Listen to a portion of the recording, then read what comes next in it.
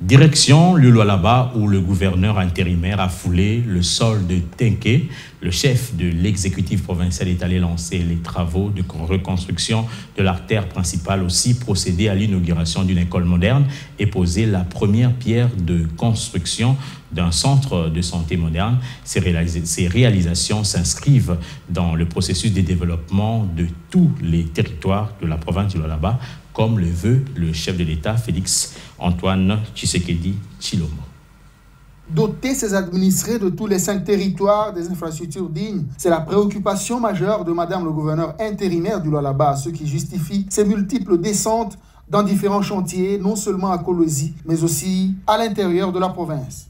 Après les artères de la capitale provinciale, Marie-Thérèse Masuka était le vendredi 4 février 2022 à Tenke, dans le territoire de l'Uboudi. L'autorité provinciale a eu droit à un accueil sans précédent. Aucune couche de la population n'a accepté de rater l'occasion de rencontrer cette femme d'exception passionnée de servir sans relâche ses administrés.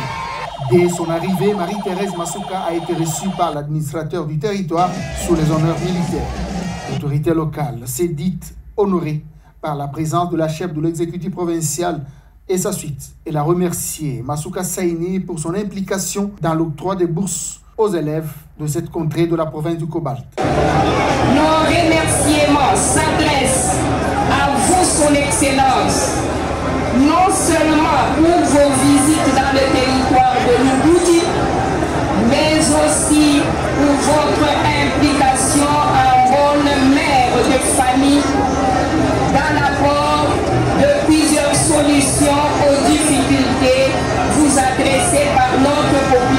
dans le domaine de la santé, de l'éducation, de la sécurité et celui des infrastructures. Marie-Thérèse Masuka a rendu un vibrant hommage au chef de l'État Félix Tshisekedi, de qui elle tire l'inspiration de changer l'image de tous les coins du là-bas. Nous voulons voir les réalisations qui ont été faites par la société TFM.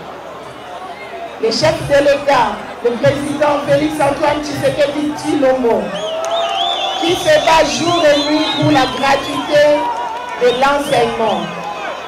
Quand il était passé ici, dans la province du Lualaba, Chimurimona Kalikuya, Félix-Antoine Tshisekedi Tshilombo, anasema province ya Lualaba iko na maminere mingi, haina vile. Anapenda kuona masomo ya hospitali ya na batoto banze kuonekana beko na kula vile. Nous encourageons la société TFM d'aller de l'avant et exécuter tout ce qui a été prévu. La femme numéro 1 du Lualaba a ensuite procédé à l'inauguration de l'école moderne de Tenke avant d'aller poser la première pierre pour la construction du centre de santé moderne dénommé Saint-François Xavier. Juste après, Masuka a lancé les travaux de reconstruction de l'artère principale de Tenke qui va déboucher sur la route nationale numéro 39 à la grande satisfaction des habitants.